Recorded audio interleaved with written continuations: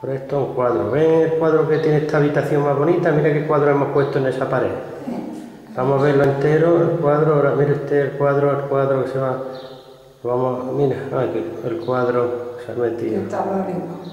Sí, con un pueblo allí en ese cuadro. Esto es de, de Velázquez, ¿de quién es este cuadro?